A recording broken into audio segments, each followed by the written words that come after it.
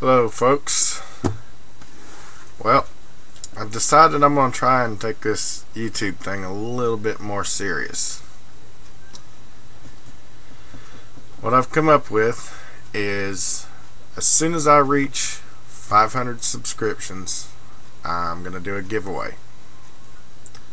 Not really sure yet just what it is, but it's going to be something worth putting in for.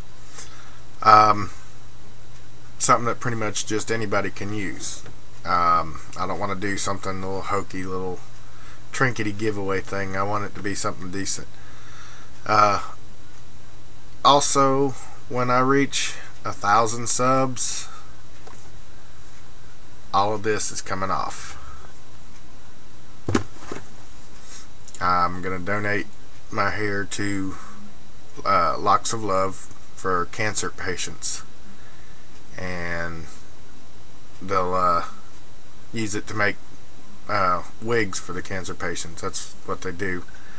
But uh, I've caught enough flack over my hair and everything that I've decided that not just to appease people but um, if I'm going to cut it off I'm going to do it for a good cause. So I figured this this was as good a cause as any and it'll actually help people in the process. Um, as for the giveaway, I'm not really sure what, what I'm going to do yet, but like I said, it is going to be something substantial that pretty much anybody, guy or girl, can use. So, that's where we're at. Uh, you want to help me out with it and see me get up there, see what I come up with, go ahead and uh, get your friends involved, um, like I said, the the giveaway will be at 500. I've only got maybe 40 more people to go, and I'll have the the giveaway stuff started.